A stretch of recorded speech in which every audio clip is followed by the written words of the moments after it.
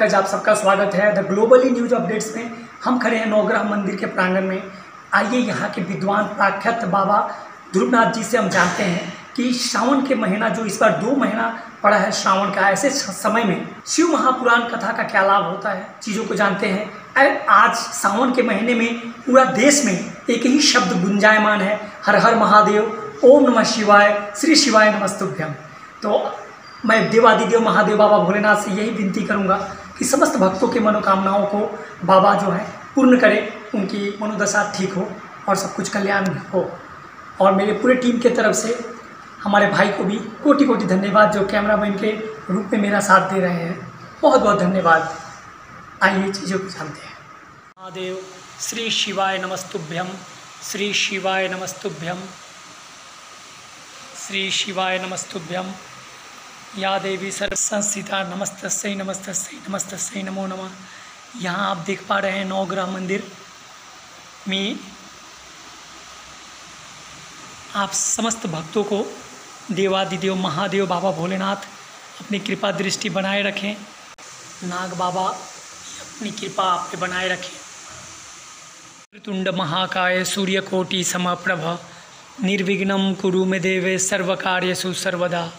श्री शिवाय नमस्तुभ्यम श्री शिवाय नमस्तुभ्यम श्री शिवाय नमस्तुभ्यम ओम जगत जननी आदि शक्ति माँ भवानी नमो नमः। आप ये देख रहे हैं नौ ग्रह मंदिर में नौ ग्रह समस्त देवताओं का ये विग्रह आप देख पा रहे हैं। संकट मोचन वीर हनुमान जी, देवादिदेव, महादेव, बाबा भोलेनाथ प्रभु सिया रामचंद्र जी भैया लखन लाल के साथ।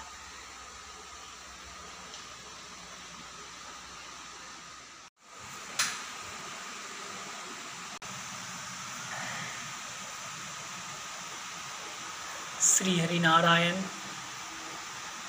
जगत जननी आदि शक्ति माँ भवानी,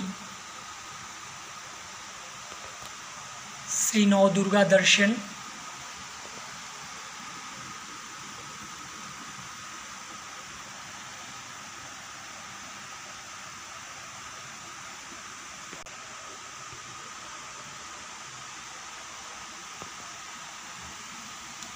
श्री सत्यनारायण देवता। बाबा प्रणाम।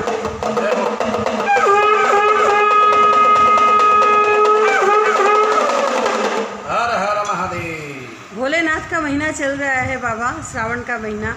और इस समय इस महीने में शिव जी की शिव पुराण की जो कथा होती है उसका बहुत ही विशेष महत्व हमारे पुराणों में माना गया है। कहा गया है कि इस वक्त शिव जी के श्रवण मात्र से, उनकी कथा मात्र से लोग भवसागर तर जाते हैं।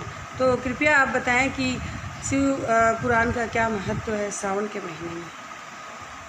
नम शिवाय सांबाय, हरे परमात्मने प्रणतक्लेशनाशाय श्री शिवाय नमो नमः। भगवान, जो देवादिदेव महादेव हैं, काल का भी काल है, महाकाल है, जिसका नाम महामृत्युंजय है, इनको सब आराधना करते हैं। इनका आराधना देवता भी करते हैं और राक्षस भी करते हैं। सबको ही वरदान देते हैं। ये दयालु है। जिसका नाम भोले गंजारी बड़ी कृपा, कृपाकारी ऐसे भोले बाबा का जो श्रावण का जो महीना है, सबसे बड़ा प्रिय माना गया जो कर्क राशि में जब सूर्य जाते हैं, एक महीना कर्क राशि में रहते हैं। इस बार दो महीना, अधिक मास को लेकर के दो महीना भगवान शंकर जी का श्रावण का महीना। श्रावण का महीने में शिवपुराण करने से यह लोग में समृद्धि परलोक में मुक्ति। भगवान शंकर की ऐसा कृपा है, कोई भी ग्रह गए, ग्रह लगे तो भगवान शंकर ही काट देते हैं। अब महाकाल जिसका नाम है, महामृत्युंजय जिसका नाम है, जो बड़ा श्रद्धा और प्रेम के साथ में एकादश एक विशेष करके शिव महापुराण ग्यारह दिन का होता है। लेकिन हम लोग शिव शक्ति, संस्थान, सिलीगुड़ी, इसमें मीना जी अग्रवाल और कई उसमें उनके सखियाँ, साथियाँ हैं। और ये लोग हमारे उत्तर बंगाल प्लेस मारवाड़ी भवन सेवक रोड में कर रहे हैं। इसका कार्य तीस जुलाई, इकतीस जुलाई, एक अगस्त तक हो रहा है। तीस जुलाई सुबह सात बजे कलश यात्रा भव्य रूप में लोग कर रहे हैं। भव्य रूप में कलश यात्रा होगा और उसके साथ साथ में सारे देवी देवताओं का मंडप पूजन और उसके साथ साथ में बारह ज्योतिर्लिंग जैसे भारतवर्ष में ही भगवान शंकर जी का निवास है। आप लोग सब जानते हैं, सौराष्ट्र सोमनाथम च श्रीशैल मल्लिकार्जुनम, उज्जयन्यं महाकालम, ओंकारं ममलेश्वरम परल्यम वैद्यनाथम च डाकिन्यम भीमशंकरम सेतुबंदे तो रामेशम, नागेशम दारुका बने वाराणस्यम से विशेषम त्र्यंबकम गौतमी तटे हिमालयन तो केदारम उसमें सुरंग शिवालय। ऐसे भगवान शंकर ने भारतवर्ष को ही रचा। भारत और नेपाल में भगवान पशुपतिनाथ विराजमान है। इसका केदारनाथ का एक अंग है। और उसके बाद बारह ज्योतिर्लिंगेश्वर महादेव भगवान शंकर जी हमारे भारत में विराजमान हैं। ऐसे भगवान शंकर जी को जो हमारे हिंदुत्व रक्षा करने वाले सभी हमारे दर्शक लोग देख रहे हैं। जो भी भगवान शंकर को तन से, मन से, श्रद्धा से, भक्ति से और प्रेम से पत्रम पुष्पम फलम जलम, भगवान को जो फल, जल, बेल, पत्ता धन धतुर से भगवान को अर्पण करके जो चढ़ाते हैं, उनका सारे मनोकामना भगवान शंकर जी पूर्ण होते हैं। क्योंकि भगवान को तो देखो, भगवान भोले बाबा तो भक्त का, भोग का आत्मा का, भक्त का प्यारा है, मन का प्यारा है। हम लोग जो दूध चढ़ाते हैं, भगवान शंकर को, वो भी बछरों का जूठा होता है, दही चढ़ाते हैं, वो भी जूठा है, मधु चढ़ाते हैं मधुमक्खियों का जूठा है, जल चढ़ाते हैं, मछलियों का जूठा है, आँसू चढ़ाते हैं, आँखों का जूठा है, मन चढ़ाते हैं, वो भी जूठा है। इसलिए हम आत्मा तुम गिरिजा मति सहचरा प्राण शरीरम गृहम आत्मा रूपी भगवान शंकर जी को आत्मा से हम लोग यदि श्रद्धा भक्ति और प्रेम से हम शिव महापुराण श्रवण करें तो हमारे इस जीवन में और क्या चाहिए? अमृत के समान है, इससे बड़ा कोई पुराण नहीं है। शिव पुराण सबसे बड़ा महापुराण है। एकादश दिवस ये महापुराण है। यह त्रिदिवस में लोग कर रहे हैं। हम लोग सब पंडित मिलकर के उसका पाठ पूजा पूरा कर रहे हैं। पाठ पूरा करने से सफलता मिलती है, सारे कार्य सिद्ध होती है।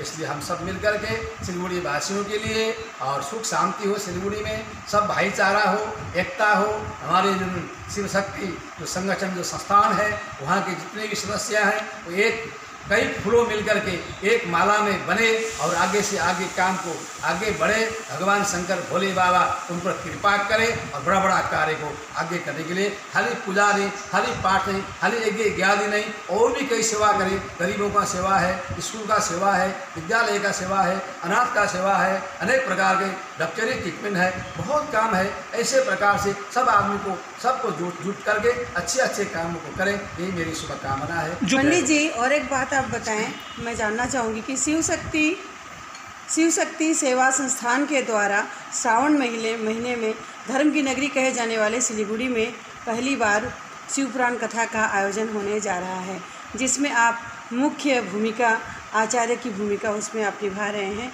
आपके तत्वाधान में ये शिव पुराण की कथा का आयोजन किया जाएगा। तो ये बहुत अच्छी बात है कि एक महिलाओं का संगठन, जिसका नाम है शिव शक्ति सेवा संस्थान, और उनके द्वारा इतना बड़ा भगवान का धार्मिक आयोजन किया जा रहा है। तो वो कैसे इसको मतलब ये करे, परिचालना करेंगी, मैनेज करेंगी, कहाँ से बाहर से भी पंडित आएँगे, क्या कथा वाचने वो थोड़ा बताएँ। या देवी सर्वभूतेषु शक्ति रूपेण संस्थिता, नमस्तस्य नमस्तस्य नमस्तस्य, नमो नम।